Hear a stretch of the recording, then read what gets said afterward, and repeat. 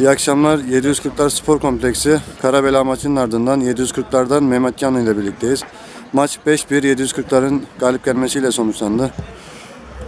Çok güzel bir performans ser- sergiledi 740'lar. Şimdi sözleri Mehmet Can'a bırakıyoruz. Buyur Mehmet Can, yorumların nelerdir? Daha güzel turnuva oluyor.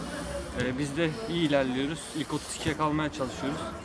Onun 10. sıradayız. Bugün de 5-1'lik galibiyetle çıktık buradan.